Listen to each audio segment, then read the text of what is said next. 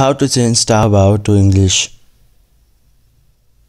So hello viewers and welcome back to our YouTube channel and in today's video I will be teaching you guys how to change Taobao to English language. So without delaying any further let's get started. So one thing you want to make sure is you go from the web version. As you can see this is my web version and this is the official site.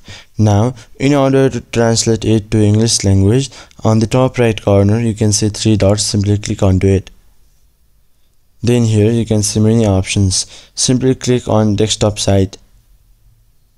Now again click on the three dots on the top right corner.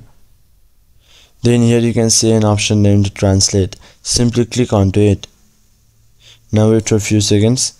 Now here as you can see it has been successfully translated to English language. So in this very simple way you could change Taobao to English. So hope this video was helpful for you until the next video bye bye and take care.